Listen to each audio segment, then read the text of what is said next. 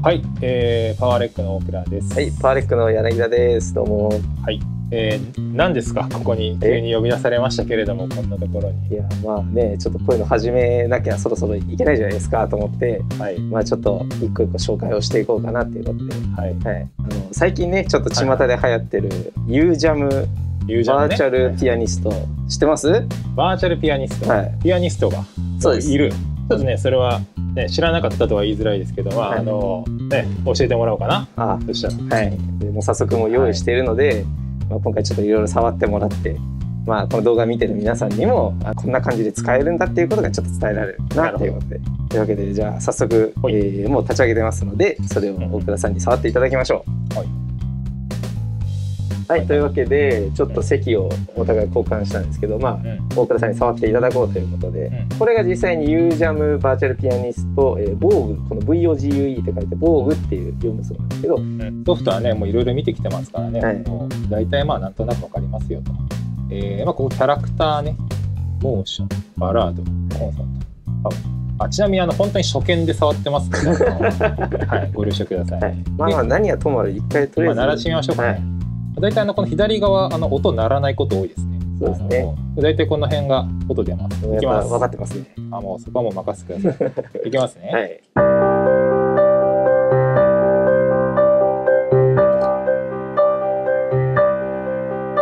これで今なるほど。鍵盤移行していただいてるだけですよね。なるほど。このパターンですね。はい。これでまあフレーズが決まってて押したところでキーが変わるってまあそういった仕組みでしょうね。まあこういうもう作りなんで、あの実際にこういう今ロジックの画面開いてますけど、あのピアノロールのとこにあのもう一本ビーってこう。ミディのノートを引っ張っていただければ、うんこうやってもう勝手に演奏してくれるっていう形で、うんもう本当誰でもピアニストになれるっていうこれはね音は良さそうですね。だいぶ雰囲気がね。で結構音色もかなり切り替えれたりとかあの元々のプリセットの数も多いんで、うんあのちょっと工夫をすれば全然被らない感じで音を作っていくっていうところが全然できるかとは思いますね。これじゃあちょっと触ってみるね。これなんかだいぶ音が変わったんだけど。あのミディキーボードもつないであるんでそれで実際試していただいてもいいこれだからあれですね本当に鳴らしっぱなしでその鍵盤のところだけもう差し替えていけば、もうどんどんどんどんフレーズが重ねていきますしで、まあ、今この「アライト・インサイト」だけでやってますけれども、じゃあ今切り替えてもらいましたね、うん。ポップミュージックで押していただくと。ですよ。展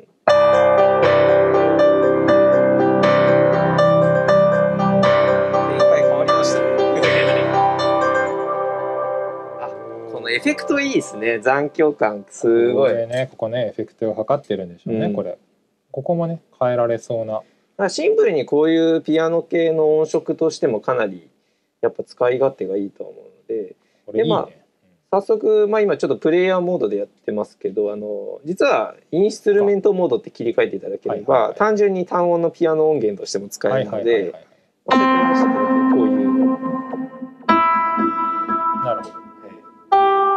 なのであの、まあ、従来のようにピアノ音源の打ち込みっていう形で使っていただくことももちろんできなると。るほどね。だからまあプレイヤーモードでなんか面倒くさいって言っちゃうとあれですけどあのちょっと弾いてもらって決めのところだけどうしても自分のこううん思いついたやつでやりたいっていうところだけインストゥルメントに切り替えてっていう方法でも全然これいけますなるほどよねっていう。。まあでもね大体の方がそうでしょうね。自分の曲とか、まあ、コピーしたい曲とかに合わせたいけど、まあできるだけ楽にはい、簡単にしたいっていうところですよね。でまあもちろんフレーズこうやって決まってますけどキーのスケールとか変更してご自身のその作っている楽曲に合わせたスケールであの演奏させるっていうこともできますのでなるほどね。あとなんかこのいいとこありますか？いやこれはもうお手軽さが売りですから、ね、まあせっかくだからちょっいやうんと。なんか鳴らしプリセップトリセット結ね。構そこ開いてもらえれば多分いろいろと、はいはいはいはい。イントロダクション、うんソフトダーク。今まだ全然ちょっとしかいじってないんですけどこれだって数だけこうやって見ても100以上全然ありますよね。そうだね、ここだけで。うん、で考えると相当数の音色が手に入ってでかつこう言ってインスタントにあの音を鳴らせるって考えたらめちゃくちゃコスパいいとは思いますね。ここにね、エフェクターを多分足していくだけで全然感じが違うんでしょうね、これ。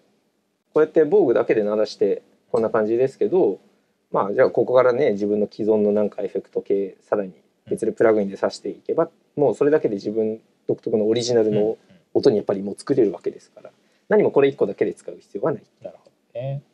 これなんでダークとライト？まあ、それ面白いんですよ。あの、まあ、鍵盤せっかくですけどミディキーボードでちょっと音鳴らしながら、うん。そのマウスでカーソル動かしてもらうと、いけますね。はい、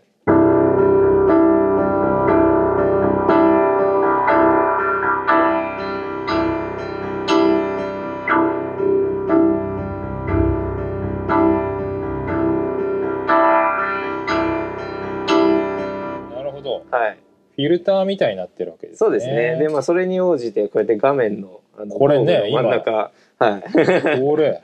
色がこう変わっててもあこもうダークになってますねって言ってライトではあ。明るくなってますねっていうのが。これは何？他のプリセットでもなってる？全部反映されてるみたいですね。まあ EQ のフィルターだと考えてもらえればいいとは思うんですけど。ははなんかねうんこう偉そうに僕も紹介してますけど全然実はそこまで詳しくない部分もあるんで。今気になったのがこの左下のベロシティとなんだこれ？ビジネス？ネス。これ多分あれですよね。ピッチベンドとモジュレーションホイールに割り当てられてると思うんですけどやってみようか。弾きながら。ちょっとね元の音が今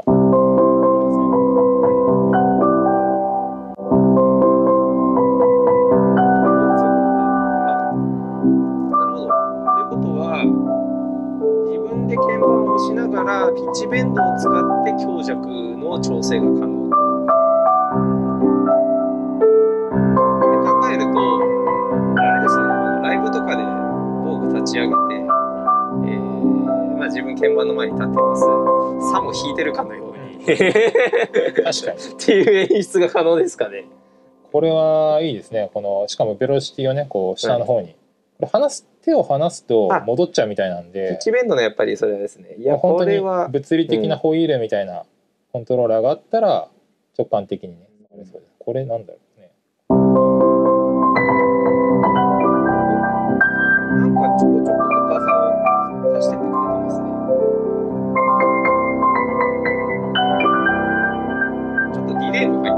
ますかてもこれかかる反応がなんか変わってくるじゃあさっきのこれにしてみようかな、は元がこれが元ですね。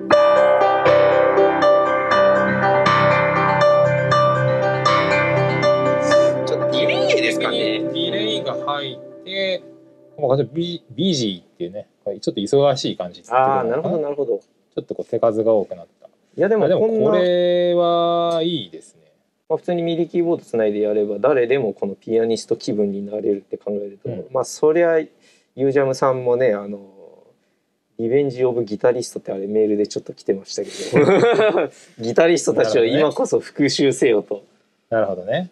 どうもなんか今まで散々あのねあのギターとかベース系とかドラム系の音源ユージャムさん出してましたけどそれでこうキーボーディストたちに煽られてたってなるほどね、はい。ギターとかねベースドラムはあるけど、はい、こっちでできるんだぜみたいなって、ねでもじゃあそんなことないギタリストももうこれを使えばお前らなんてっていう、だってこれピーって好きなフルセットねとりあえず一発打ち込んででまあ自分でねギターを弾くとかねうん。歌を歌うとか。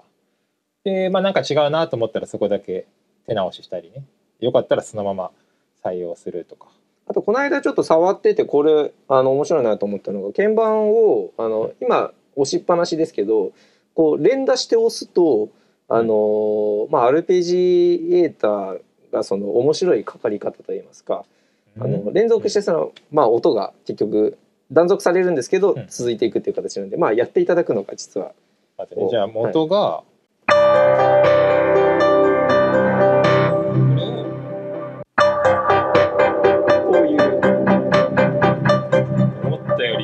しれない、はい。これはこれをミディでその打ち込みをしていけばもうちょっと縦きっちり合う感じでできると思うんでそれもだから今トットットットってやってましたけどトーントーンでやっても多分面白い効果出るんじゃないかなと。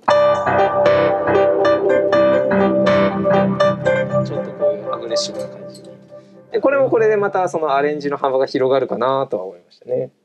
と確かに。これは思ってたよりも、うん。あのいい意味で全然違う結果でした、はい。あのもうちょっとなんかただこうぶつ切りにした感じかと思ったら多分選んでる音色とエフェクトのかかり方で印象がねねだだいぶこれちょっとやりきれないですね。これ全部はちょっと紹介しきれない。それやっぱね買っていただいて。よくできてますね 本当に。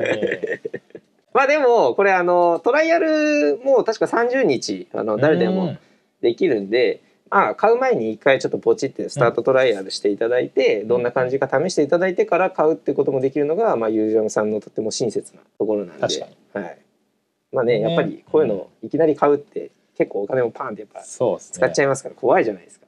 まあ僕らはねこれ今あ面白い面白いってね言ってますけど、本当かなっていうね方、ね多いと思うんで。どうせどうせお店の人たち、ね売り上げのためにっていうふうにねやっぱね思われるかもしれませんら、からやっぱ試していただいてそこは。うん。まあでもあの本当にいきなりあの連れてこられてこれ本当に初めて今触ってますけどあの全然印象はいいですよ。まあもともとユージャムさんってやっぱりこうやって勝手に弾いてくれる系のものをあのどんどん作ってくれてるのでまあピアノ系でこれが初なんで、まあ、もしかしたらもっとこれからねうん。新しいのあの出てきてくれるかもしれませんし、まあ、また別の楽器でもユージャムさんいろいろ出してますのでそこら辺もあの今後やっぱ期待していきたいですね。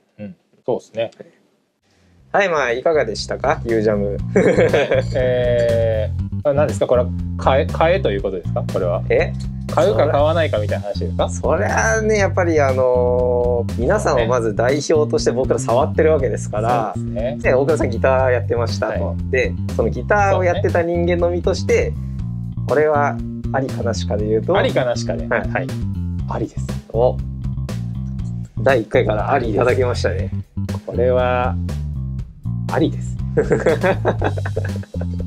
いやなしも十分あの考えられますよ。そのあこのソフト側じゃなくてあないなって思う商品ソフトももちろんねね。ありますけど、まあ、僕らもやっぱりこういろいろ販売してて全部あの買ってるわけじゃないですから。そうですね。うんいやこれ自分では買うけどあの、まあ、この人だったら買わないとか、ね。で逆に自分は買わないけどあの他の人は買うっていうのは全然いろいろあります。合う合わないがありますからそれで言うと時間を短縮したいとかピアノ弾けないから例えば今まで曲作りにピアノを入れられなかったとかいう人たちもいると思うんですけど、そうくれぐれもピアノの音色変えましたって言っていいピアノの音が鳴るんですけど弾けないんでだんだんこうね眠っていくわけですよソフトたち積み積みソフト積みソフトと。そうなんですよ。積みソフトがねもう誇りをねソフトなのに誇りをかぶってるわけですよ。うん。ということで、えーこれはまた今後も続ける感じですね。そうですね。あのどんどんどんどんこうやっていろんなものを紹介したいのではい。でまあもちろん僕らからも発信していきますしもしあのこれご覧の方々であちょっとこれ取り上げてほしいなっていうのがありましたらあの、まあ、YouTube のこのコメント欄でしたりとかあの、まあ、我々 Twitter でえいろいろ情報を発信させていただいているのでそこでまあなんかリプライいただければできるものに関してはなるべくできる限りいろいろコンテンツをこうやって作っていきたいと思いますので、はいそれをまた俺が試すわけですね。そうです。でありかなしかを言うというそうことで、ね、です。これはだいぶプレッシャーですね。はいわかりました。じゃああの本当忖度なしでやってるんで、そうですね急に呼ばれてねはい、バーチャルピアニスト知ってますかっていうとじゃあまたね次回いつかお会いしましょう。はい、はい、近いうちに。じゃあありがとうございます。はい。では。バイバイ。